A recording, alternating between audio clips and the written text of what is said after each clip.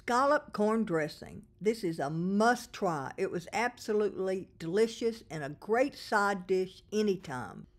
Add three cups of rotisserie chicken to this and you have a complete meal. So let's get started on Darlene's table.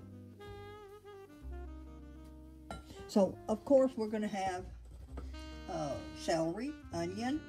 This is corn that I took off the cob, but you can use frozen corn. Parsley, um, I'm using poultry seasoning, pepper, and salt. One egg, half a cup of milk, one cup of chicken broth, and this is the topping, which is the crackers crumbled with uh, a little butter.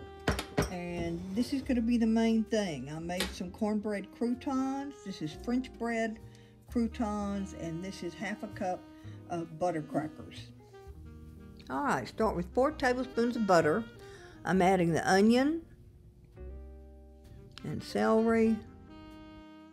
So we'll stir this, let everything get coated well in the butter. Cook this for two to three minutes. And I'm adding the corn. Now remember, I did divide this recipe in half for the video because it makes a lot.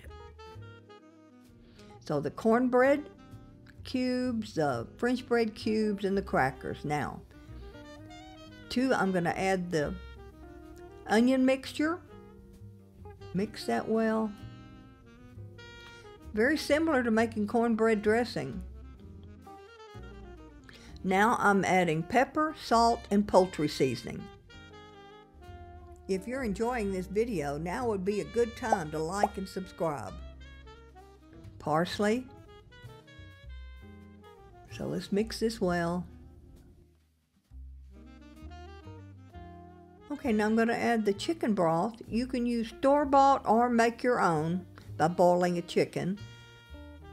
I'm adding the milk and one egg. This is a very moist dish. Add the egg and really mix it.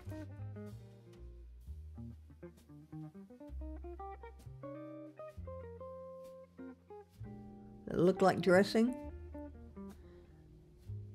Now at this point you could add about a cup and a half. Remember I did divide this recipe in half. You could add about a cup and a half to it of roasted chicken and make a complete meal.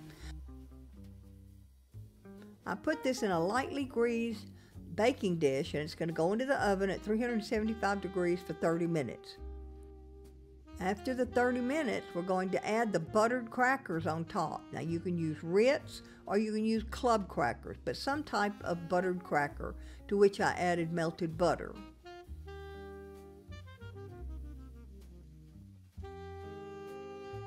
Doesn't that look good? It went in for 30 more minutes and here we are. Now this is without the chicken in it, which is just an additional step you can do. Scalloped corn dressing. Try this two for one dish by combining dressing with scallop corn. Be sure to use stale bread, it absorbs the liquid better than the fresh.